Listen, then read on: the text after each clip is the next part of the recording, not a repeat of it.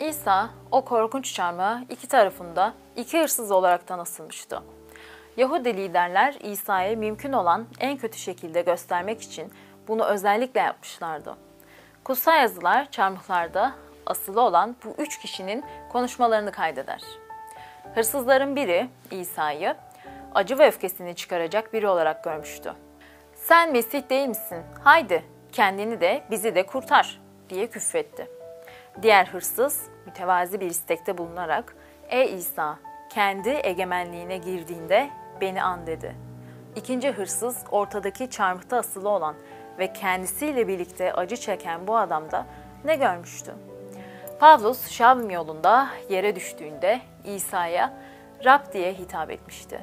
Petrus dalgaların altına batmaya başladığında İsa'ya Rab diye hitap etmişti. Thomas İsa'nın bedenindeki çivi izlerini inceledikten sonra İsa'ya Rab diye hitap etmişti. Ancak bu zavallı hırsız İsa kendi yanındaki çarmıhta asılıyken İsa'ya Rab diye hitap etmişti. Rab terimi zafer, kral olmak ve bu yetki anlamlarını içerir.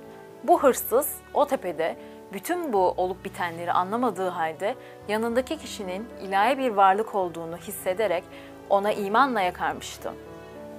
Siz de şimdi henüz bir seçme hakkınız varken İsa'ya Rab diye hitap edecek misiniz? Yoksa sonrayı artık seçim yapamayacak hale geleceğiniz zaman mı bekleyeceksiniz? Sonunda herkes onun Rab olduğunu kabul edecektir. İnanların büyük küçük kararlar vermeleri gerektiği zamanlarda Rab İsa bu kararı onaylayarak gülümseyebilir mi? Sorusunu sorma alışkanlığını edinmeleri lazımdır. Bu ilk bakışta kısıtlayıcı bir şey gibi görünebilir ama inanlar bunun gerçek, özgürlük ve memnuniyette götüren yol olduğunu görmektir. İnanların büyük küçük kararlar vermeleri gerektiği zamanlarda Rab İsa bu kararı onaylayarak gülümseyebilir mi sorusunu sorma alışkanlığını edinmeleri lazımdır. Bu ilk bakışta kısıtlayıcı bir şey gibi görünebilir ama inanlar bunun gerçek özgürlük ve memnuniyete götüren yol olduğunu görmektedir.